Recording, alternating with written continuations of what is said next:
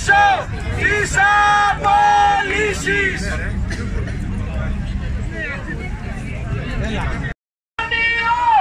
Η μόρφωση ανήκει σε όλο το λαό. Και με και με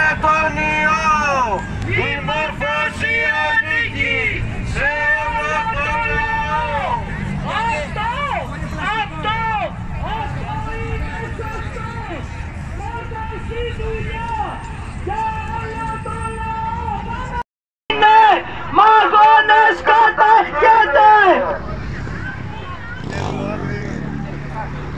Δεν μπορώ να το κάνω με τίποτα.